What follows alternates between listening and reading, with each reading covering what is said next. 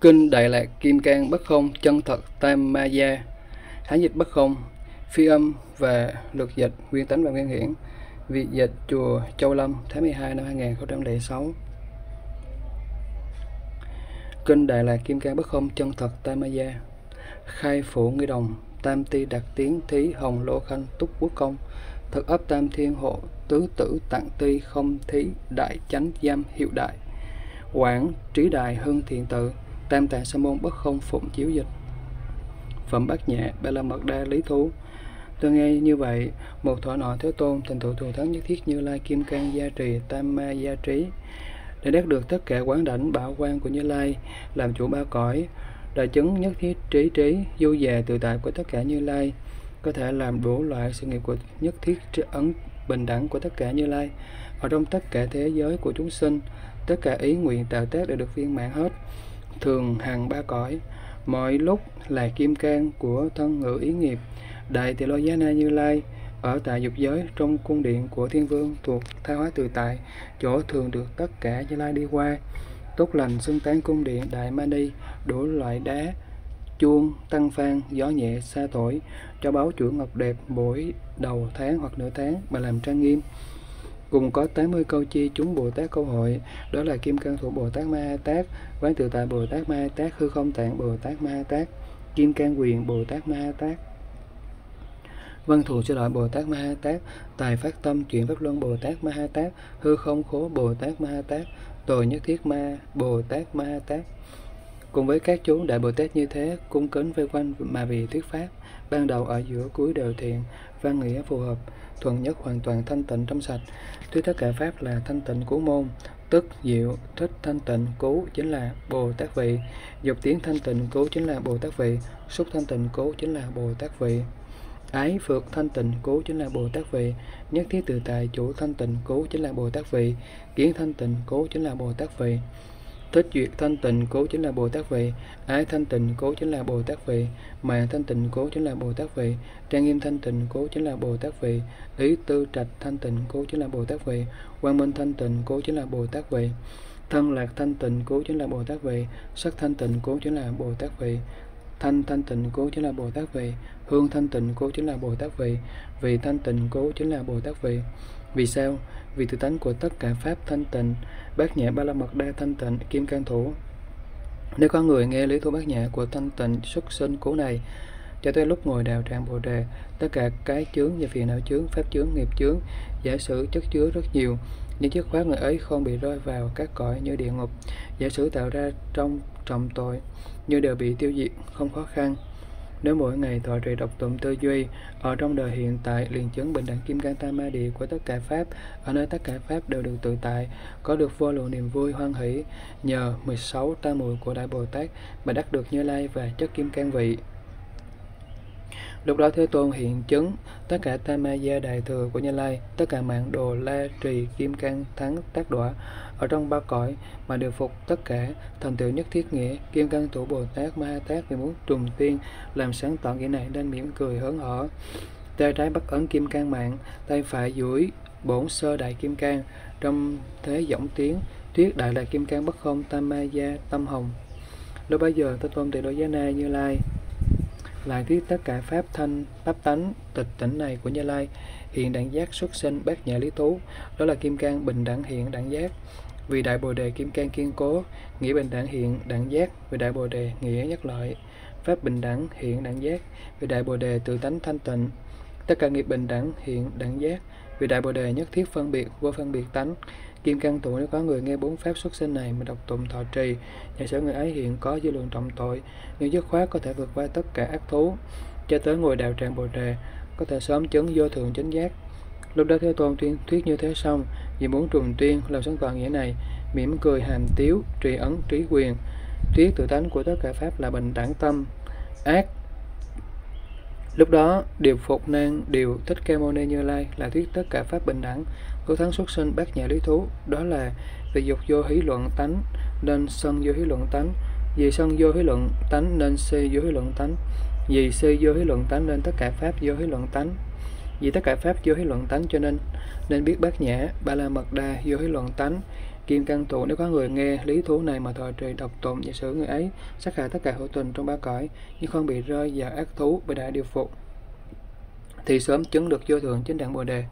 Lúc đó, đại bồ tát kim cang thủ vì muốn trùng tiên là sáng tỏ nghĩa này nên trị ấn hàng tam thế, dùng nụ cười hoa sen mà châu lông mày, nhìn trừng trừng, nhe răng néo ra nếu đúng, đứng tư thế hàng phục ma tí kim cang hồng ca này, tâm hồng Lúc đó Thế Tôn đắc được tự tánh thanh tịnh, Pháp tánh Như Lai, là thuyết tất cả Pháp bình đẳng, quán tự tại, trí ấn xuất sinh, bất nhã lý thú. Đó là vì tất cả dục thế gian thanh tịnh, tức là tất cả sân thanh tịnh. Vì tất cả câu ế của thế gian thanh tịnh, tức là tất cả tội thanh tịnh.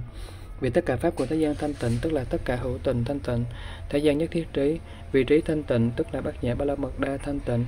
Kim cang thủ, nếu có người nghe được lý thú này mà thọ trì độc tụng, tác ý tư duy, giả sử trụ vào các cái dục giống như hoa sen, nhưng không bị có uế khách trần làm nhơ, sớm chứng được vô thượng chính đẳng bồ đề.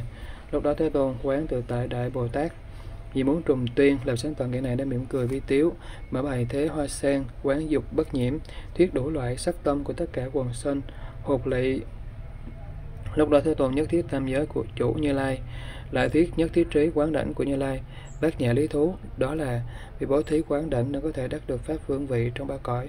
Vì bố thí nghĩa lợi nên đắc được đầy đủ tất cả ý nguyện. Vì dùng pháp bố thí nên được viên mãn tất cả pháp, vì bố thí các vật dụng nên đắc được tất cả an lạc của thân khẩu ý lúc đó hư không tạng đại bồ tát khi bốn trùng tiên làm sáng tỏ nghĩa này nên mỉm cười, hàm tiếu, dùng tóc bảo kim cang tự bối lên đầu. Thứ nhất thiết quán đảnh tam ma gia bảo tâm đát lãm. Lúc đó thế tôn, đắc nhất thiếu trí như lai ấn như lai, là thuyết nhất thiếu trí ấn của như lai, gia trì bát nhà lý thú. Đó là trì tất cả thân ấn của như lai, tức là tất cả thân của như lai. Trì tất cả người ấn của như lai đó là, tức là tất cả pháp của như lai, trì tất cả tâm ấn của như lai tức là chứng được tất cả tam ma địa của như lai trừ tất cả kim căn ấn của như lai tức là thành tựu tất cả thân khẩu ý nghiệp tối thắng tất địa của như lai Kim can thủ nếu có người nghe được đế thú này mà thọ trì độc tụng, tác ý tư duy, thì hoàn toàn đắc được tự tài, nhất thiết trí trí tất cả sự nghiệp thành tựu tất cả.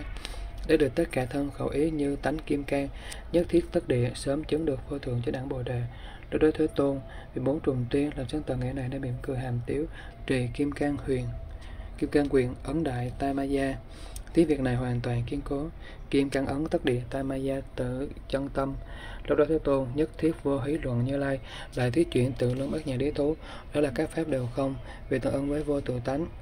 Các pháp vô tướng vì tương ưng vô tướng tánh, các pháp vô nguyện vì tương ưng vô nguyện tánh, các pháp quang minh vì bát nhã ba la mật đa thanh tịnh. Lúc đó đồng chân ma tù sẽ lợi bị muốn trùng tuyên là sáng tạo nghĩa này nên niệm cười hành tiếu, lấy kiếm của mình khua chém tất cả Như Lai xong thiết tâm tối thắng của bát nhã ba la mật đa này. Lúc đó thế tôn nhất thiết như lai nhập đại luân như lai. Lại thuyết nhập đại luân bát nhã lý thú. Đó là nhập kim cang bình đẳng chính là nhập tất cả pháp luân của như lai, nhập nghĩa bình đẳng, chính là nhập luân của đại bồ tát. Nhập tất cả pháp bình đẳng, chính là nhập diệu pháp luân. Nhập tất cả nghiệp bình đẳng, chính là nhập tất cả sự nghiệp luân. Lúc đó đại bồ tát tài phát tâm chuyển pháp luân. Vì muốn trùng tiên làm sẽ tận nghĩa này nên mỉm cười hàm tiếu, chuyển kim cang luân. Nhất thiết, thứ nhất thiết kim cang tam ma gia tâm. Lúc đó thế tôn nhất thiết như lai trụng trụng cúng dường tạng quảng đại nghi thức như lai lại thuyết nhất thiết cúng dường tối thắng xuất sinh, bát nhã lý thú. Đó là phát tâm bồ đề, chính là cúng dường rộng cấp các như lai. Của dưới tất cả chúng sinh chính là cúng dường rộng cấp các như lai. Thọ trì kinh điển chính là cúng dường rộng cấp các như lai. Ở nơi bát nhã ba la mật đa mà thọ trì độc tụng thì biên chép, và người khác biên chép. Tư duy tu tập cúng dường các loại chính là cúng dường rộng cấp các như lai. Lúc đó đại bồ tát hư không, khổ vì muốn trùng tiên là sáng tỏ nghĩa này nên mỉm cười hàm tiếu tất cả sự nghiệp này. Bất không, tamaya nhất thiết kim can tâm. Lúc đó thế tôn năng điều trì trí quyền như lai là thuyết nhất thiết điều phục trí tạng, bác nhà lý thú. Đó là vì tất cả hữu tình bình đẳng, nên phận nộ bình đẳng. Vì tất cả hữu tình điều phục, nên phận nộ điều phục. Vì tất cả hữu tình là pháp tánh, nên phận nộ là pháp tánh. Vì tất cả hữu tình là kim cang tánh, nên phận nộ là kim cang tánh. Vì sao? Vì tất cả tất cả hữu tình điều phục chính là bồ đề lúc đó đại bồ tát tồi nhất thiết ma. Nhìn muốn trùng tiên là sáng tỏ nghĩa này, nên mỉm cười hàm tiếu, đã làm tất cả như lai kinh hại xong. Thiết kim cang phẫn nộ, đại tiếu tâm lúc đó thế tôn nhất thiết bình đẳng, lập như lai lại thuyết nhất thiết tam ma gia tối thắng xuất sinh, bát nhã lý thố. Đó là vì tất cả bình đẳng tánh nên bát nhã ba la mật đa bình đẳng tánh. Vì tất cả nghĩa loại tánh nên bát nhã ba la mật đa nghĩa loại tánh. Vì tất cả pháp tánh nên bát nhã ba la mật đa pháp tánh. Vì tất cả sự nghiệp tánh nên bát nhã ba la mật đa sự nghiệp tánh. Nên biết lúc đó kim cang thủ nhập vào nhất thiết tam ma gia gia rì tam ma địa của bồ tát như lai. Nhất thiết thuyết nhất, thiết bất không tam gia tâm. Lúc đó, thế tôn như lai lại thuyết tất cả hữu tình gia trị bát nhà lý thú. Đó là như lai tạng của tất cả hữu tình và nhất thiết ngã của bồ tát phổ hiền, kim cang tạng của tất cả hữu tình. Vì kim cang tạng quán đảnh, diệu pháp tạng của tất cả hữu tình, vì có thể chuyển tất cả ngữ ngôn. Yết ma tạng của tất cả hữu tình, vì tương ưng tánh năng tác sở tác. Lúc đó, ngoài kim cang bộ, vì muốn trùng tiên, là sinh tận nghĩa này nên nói lời hoan hỷ thiết kim cang từ tài, từ chân thật tâm, đát. Lúc bấy giờ, thất nữ, mẫu thiên định là chân phật dân cúng cái móc để thâu nhiếp có thể giết, có thể thành tựu tam ma gia chân thật tâm. Tùy dục. Lúc bấy giờ, ba anh em của mặc độ ca la thiên gần gũi lễ chân phật tâm chân ngôn của mình. Sa phượng lúc bấy giờ, bốn chị em của cõi trời cũng dâng cúng tâm chân ngôn của mình. Lúc đó thế tôn vô lượng vô biên cứu cánh như lai, vì muốn gia trì giáo lý này khiến hoàn toàn viên mãn. Là thuyết bình đẳng kim cang xuất sinh, bác nhã lý thú, đó là vì bác nhã ba la mật đa vô lượng là tất cả như lai vô lượng. Vì bác nhã ba la mật đa vô biên, nên tất cả như lai vô biên. Vì tất cả pháp nhất tánh, nên bác nhã ba la mật đa nhất tánh. Vì tất cả pháp cứu cánh, nên bác nhã ba la mật đa cứu cánh kim can thủ nếu có người nghe lý thú này mà tòa trì độc tụng tư duy nghĩa lý, thì người ấy ở nơi pháp hành của phật, bồ tát đều được thành, đều được cứu cánh. Lúc đó thế tôn tiền lô giá na, đến tất cả pháp tánh bí mật, vô hí luận như lai. Đại thế tôn thắng, vô sơ trung hậu, đại lạc kim cang bất không, tam tam muội gia, kim cang pháp tánh bát nhã lý thú. Đó là vì bồ tát ma ha tát đại dục tối thắng thành tựu, nên đắc được đại lạc thành tựu vì bồ tát ma tát đại lạc tối thắng thành tựu đã liền đắc được nhất thiết như lai đại bồ đề tối thắng thành tựu. Vì bồ tát ma tát đắc được nhất thiết như lai đại bồ đề tối thắng, đã liền đắc được nhất thiết như lai tội đại lật ma tối thắng thành tựu. Vì bồ tát ma ha tát đắc được nhất thiết như lai tội đại lật ma tối thắng thành tựu, đã liền đắc được tự tài thành tựu chủ khắp ba cõi vì bồ tát ma ha tát đắc được tự tại thành tựu chủ khắp ba cõi, nên liền đắc được định dư vô dư giới. Tất cả hữu tình trụ sâu lưu chuyển, và đại tinh tấn mà thường sống trong sinh tử tâu nhiếp tất cả lợi ích, a lạc tối thắng cứu cánh đều hoàn toàn thành tựu. Vì sao? Bậc bồ tát thắng huệ dù chấm dứt sinh tử, thường làm lợi chúng sinh nhưng không vào niết bàn. Bát nhã và phương tiện trí độ đều gia trì, các pháp và các cõi, tất cả đều thanh tịnh. Dục vân vân điều phục thế gian, vì khiến được tịnh trừ, hộ đánh và ác thú điều phục hết các cõi. Như thể hoa sen vốn tịnh, không bị nhiễm bởi câu ế tất các dục cũng thế, không làm nhiễm lợi quần sanh đại dục được thanh tịnh để an lạc giàu có bá cõi được tự tại có thể làm lợi lợi kiên cố kim cang thủ nếu có người nghe bác nhã lý thứ ba sau này, mỗi sáng sớm tụng hoặc nghe, thì người ấy hoàn toàn đạt được ý an lạc. Đại lạc kim can bất không tam muội gia, địa vị rốt ráo. Trong đời hiện tại đã được tất cả pháp tự tại an lạc như 16 tam ma địa của đại bồ tát và đắc được như lai chấp kim cang vị. Lúc bấy giờ, tất cả như lai già trì kim cang bồ tát ma tát để đến hội họp muốn khiến pháp này.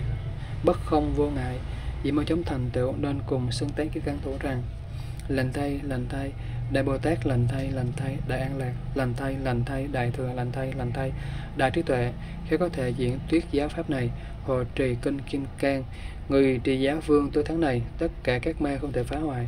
Được Phật Bồ Tát tối thắng vị, đối với các điều rốt ráo sẽ không xa tất cả như lai như Bồ Tát. Cùng tuyết thù thắng, như thế xong thì khiến người trì giữ sống thành tựu đều rất hoan hỷ, tin nhận thực hành kênh đại kim cang bất không chân thật tam Maya.